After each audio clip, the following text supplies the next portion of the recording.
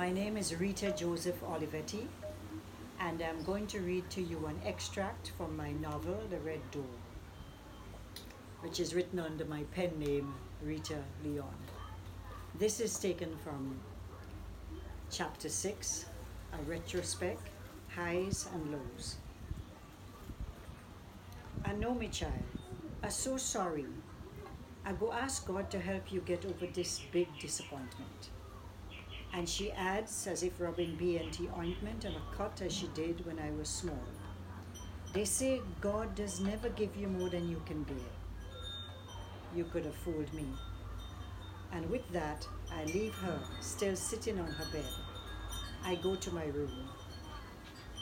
I walk slowly over to the rickety table, pull the big brown envelope from under a pile of books, and open it. I take out the visa application form, so neatly filled out, the acceptance letter from Guildford School of Nursing, and the letters from Fred, which I had also kept. To that pile, I add his latest letter to my mother. Rolling them up into a tube, I pass out to the kitchen, pick up a box of matches, and then steal out to the latrine behind the house. The fusty smell, despite Mammy's monthly application of quicklime, is just what I need. I make sure that the bed nail holding the door shut is in place, and the dim, comforting light, in the dim, comforting light, I strike a match. It flares up briefly and goes out, adding its tinge of sulfur to the other noisome smells. Sulfur, that is fitting. I bundle two or three matches together and strike them.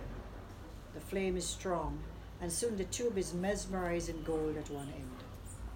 I gaze intently at the pa- as the papers curl, blacken, and fall apart, bit by bit, into the open jaws of the waiting cesspit.